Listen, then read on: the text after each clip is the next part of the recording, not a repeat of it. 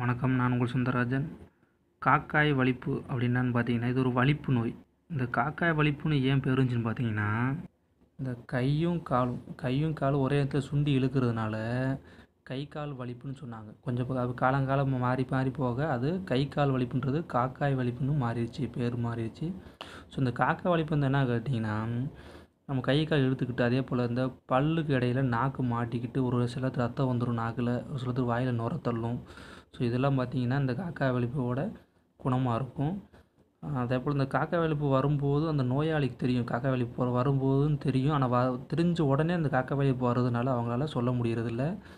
இது நம்ம பார்த்தீங்கன்னா நம்ம பொதுமக்கள் பொதுவாக இரும்பு சாவி இரும்பு வளையம் இதெல்லாம் கொடுத்து பார்ப்பாங்க. ஆனால் அது வந்து அப்படி கொடுக்கணும் அவசியம் கிடையாது. அது ஒரு வந்து நமக்கு என்ன சொல்கிறது அது ஒரு மக்களோட நம்பிக்கை தான் தவிர அது உண்மை கிடையாது. ஆட்டோமேட்டிக்காக காக்கா வலி பண்ணாங்கன்னா ஒரு அஞ்சு பத்து நிமிஷம் அதுவாகவே சரியாயிரும். இப்போ இந்த காக்கா வளர்ப்பு வந்தால் நம்ம என்ன செய்யணும் கேட்டிங்கன்னா ஒரு வெள்ளை வெங்காயத்தை தட்டி சாறு எடுத்து அந்த சாற்றை வந்து க- ரெண்டு காதுலேயும் வந்து நம்ம கொஞ்சம் ஊற்றணும்னு வச்சுக்கிங்களேன். காக்காய் வலிப்பு வந்து உடனே நிற்கும். ஸோ ஆக்சுவலாக வந்து அஞ்சு பத்து நிமிஷத்தில் வந்து நின்றுடும் ஆட்டோமேட்டிக்காக நின்றுடும் அப்படி வந்து நிற்கலன்னா நம்ம உடனே நம்ம ஆஸ்பத்திரி கூட்டு போக சூழ்நிலை வந்துடும் இந்த காக்கா வலிப்பு வந்துச்சுன்னா நம்ம இந்த வெங்காயத்தை சாறு தட்டி ஊற்றுனீங்கன்னா உடனே நின்றுடும் காக்காய் வலிப்பு வந்து வேகமாக நின்றுடும் அதனால் அவங்க பாதுகாத்துக்கலாம்.